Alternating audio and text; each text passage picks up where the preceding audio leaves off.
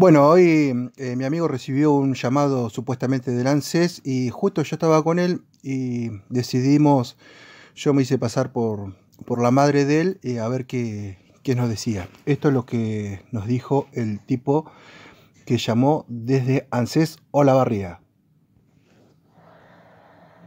Por favor, bien. Qué bueno, qué bueno. A ver, este, Apoderate de una virome, Raúl, por favor. a ver. Eh, ay, pa- a ver. ¿Qué pasa, hijo? ¿Eh? Ah, ¿Qué mami, pasa? ¿Qué pasa, hijo? ahí te van a... Para mi mamá, ¿eh? ¿Qué? Bueno, su querida mamá, eh, caballero, para su mamá. Ah, bueno. Mi mamá... Juana, vení. Hola. Sí, Ju- te doy con Juana, a ver. Consultale porque ella no me cree. A ver. Hola. Hola, hijo. ¿Qué Hola. pasó? Hola, muy buenas tardes. Sí, ¿quién es Roberto? No, no, no sé un nombre de, de, de ANSES, me dijiste, ¿no? De Anses, caballero, de Anses, Raúl, de Anses. Ajá. No sé, mamá, decir. Hola. Hola. Hola. Sí, ¿qué Hola, tal? muy buenas, hola, muy buenas tardes. Mi nombre es Tomás Alberto Figueroa. ¿eh? Estoy comunicando de Anses de la Barría de la calle Rivadavia. ¿Con quién tengo el gusto, por favor? Con Tomasa, ¿cómo andas, querido? ¿Bien? Tomasa, ¿cómo te va, querida? Muy buenas tardes. Sí. Buenas tardes, Tomasa. ¿Apoderate de una virome, Tomasa? Que se ha abrido un facho favorable a tu favor. Bueno. Para que puedas estar cobrando el ingreso familiar de emergencia sanitaria, el IFE. Tenés el IFE para cobrar 17.800 pesos en Ay, qué, efectivo. qué bien que me viene, querido, porque viste cómo está todo. Últimamente no, ya no, no podemos más con esta situación, ¿vio?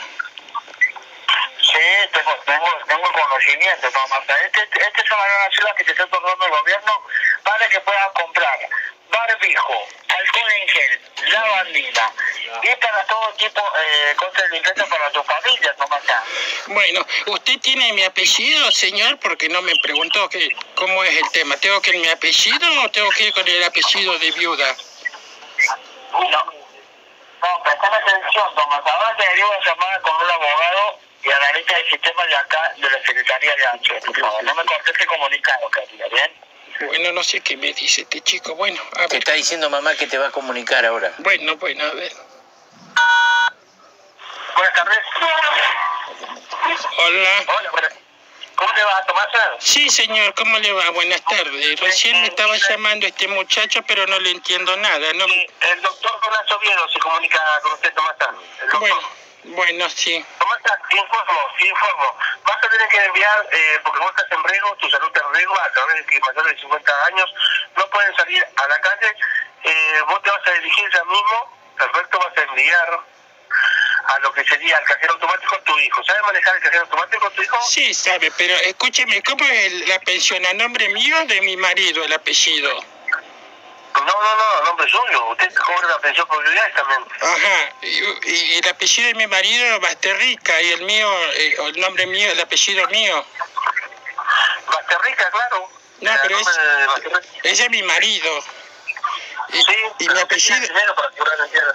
pero mi apellido y nombre es Tomasa, para que anote, Samarriala. Deme, Tomasa, deme el completo. Tomasa Marriala es mi apellido, señor. Tomasa Marriaga. Sí, agarré. Bueno, la conversación se iba para otro lado. Lo importante es. eh, no, la conversación se iba para otro lado, no, como les decía. Lo importante es estar en alerta y este, esto que, que recibió el llamado mi amigo, haciéndose pasar por el hijo de una señora, que la señora era yo, eh, tengan mucho cuidado. Tengan mucho cuidado con estos llamados. Ahora les voy a pasar el número de teléfono. El teléfono es 11 27 86 69 22. Tengan mucho cuidado. Más por la gente grande. Desde Olavarría. Saludos.